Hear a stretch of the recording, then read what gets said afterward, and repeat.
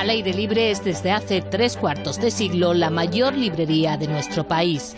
Sumergirse en el mar de paseantes no es fácil, están citados con sus autores preferidos.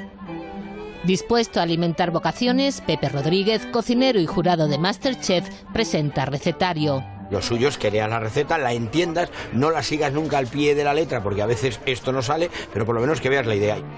El ciclista Pedro Delgado propone una escapada subidos a la bici, rutas aptas incluso para principiantes. Cualquier mamá o papá que no haya echado deporte lo puede hacer. Es una invitación a, a vivir una pequeña aventura en la bici.